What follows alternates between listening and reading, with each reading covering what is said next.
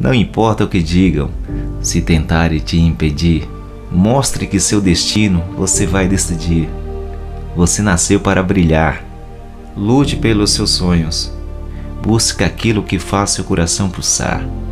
O caminho às vezes pode parecer difícil, mas valerá a pena quando alcançar seu objetivo.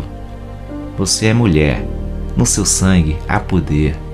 Você nasceu para ser guerreira e nessa vida não desista daquilo que deseja ter. Feliz Dia da Mulher!